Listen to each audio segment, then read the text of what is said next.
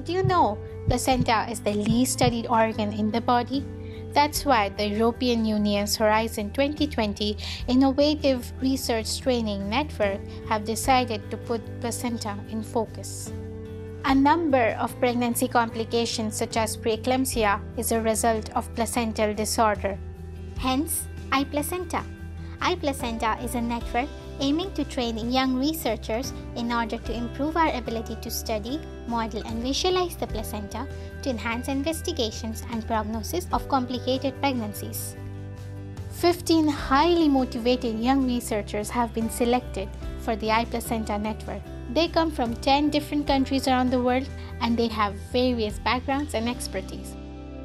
Our projects can be summarized into three main packages in these, we will model the placenta and try to find new insights to understand pregnancy related disorders such as preeclampsia, fetal growth restriction, and stillbirths. And now, let's introduce ourselves. I'm Natalia, I'm a biochemist from Nottingham. My project is focused on extracellular vesicles in preeclampsia, and I'm based in the University of Torino in Italy. Hi, I'm Gwyneth. I come from France and I have a master's degree in biotechnology. Hi, I'm Camila. I'm from Italy and I'm a chemist. We both are PhD students at Mimetas in Netherlands. The goal of my project is to develop a placenta and chicken with model and I will develop the assay to characterize it. This PhD gives us the opportunity to build experience both in academia and industry. Hi, my name is Agathe. I'm a French engineer in biotechnology based in Dundee, Scotland. And my project is to create new cell lines that represents the placenta the best way possible. Hi, I'm Jana. I'm a German bioinformatician based in Maastricht in the Netherlands. And I'm going to do a total RNA-seq in order to get a transcriptomic blueprint of the placenta. I'm Julia Sheen. My background is in immunology and I'm based at the University of Rostock. We will create a disease map of preeclampsia using a systems biology approach and integrating heterogeneous data. I'm Camino from Spain and I am a reproductive biologist. I'm Clara, I'm Italian and I'm a molecular biologist. We are working on a PhD in Paris, France. Our PhD is focused on the relationship between genetics, epigenetics and transcriptomics in placental diseases. Hi, I'm Sam. I'm an Indian molecular biologist based in University College Cork, Ireland. My project is to look at premature placental aging in adverse pregnancy outcomes. Hiya, my name is Lucas. I'm a Swiss engineer working at the University of Dundee in Scotland. iPlacenta gives me the opportunity to combine engineering knowledge with medicine. Hola, my name is Ignacio Valenzuela. I am a medical doctor and a gynecologist from Chile.